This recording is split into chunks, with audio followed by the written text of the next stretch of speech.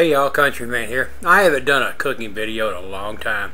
Reason, I'm lazy and my kitchen's a mess and I haven't cleaned it up. But I want to, I've already cooked it, but I'm going to show you what I made today and it's like a homemade hamburger helper. I took about a pound of hamburger meat and uh, maybe a cup and a half. I uh, browned it.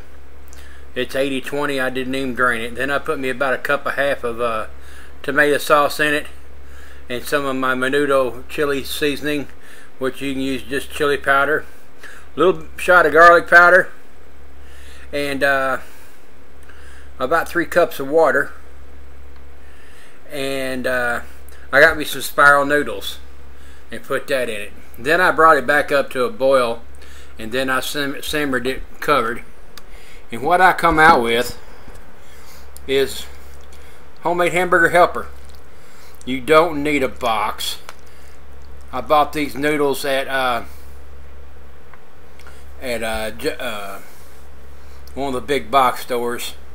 Me and a guy named Sam, and uh, turned out real good.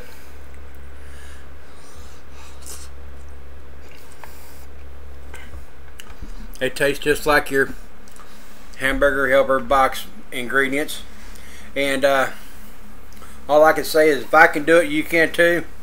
This whole meal, I got that hamburger on sale last month. Uh, haven't used it all. It was uh, $1.99 a pound. And I bought like 10, 10 big packages of it. And I'm still eating on it. So with a,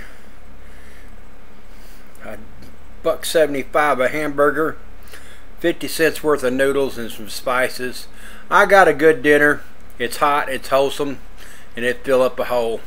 Countryman out for now. Just want to let you guys know if I can do it, you can do. Uh, comment, yell at me, do what you got to do. God bless. Countryman out.